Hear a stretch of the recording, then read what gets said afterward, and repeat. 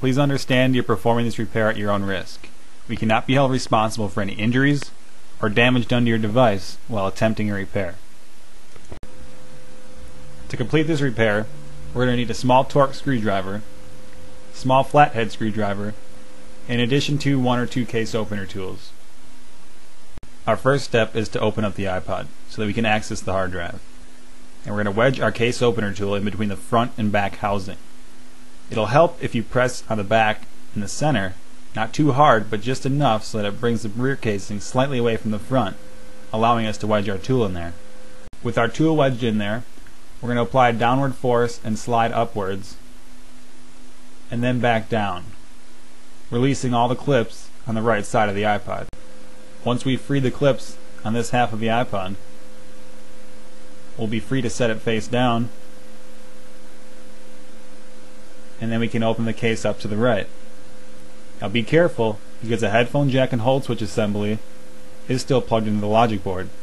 And there's also adhesive holding the bend in the cable together. We now have access to the hard drive, which is the chrome square with the blue bumpers surrounding it.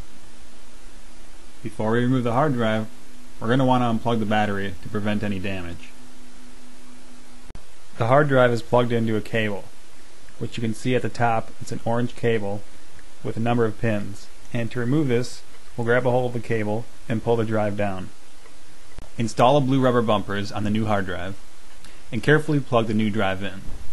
Snap the rear cover back on the iPod and we've completed the repair. Now the drives may or may not come formatted. You'll know if the drive was formatted if the iPod boots to its normal menu.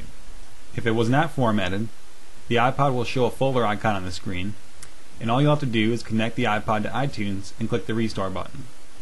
When prompted, unplug the USB cable and plug the iPod into a wall charger for 10 seconds to complete the restore process. Hopefully you found this tutorial to be helpful. If you have any questions, feel free to comment or contact us directly through our website. Thanks for watching.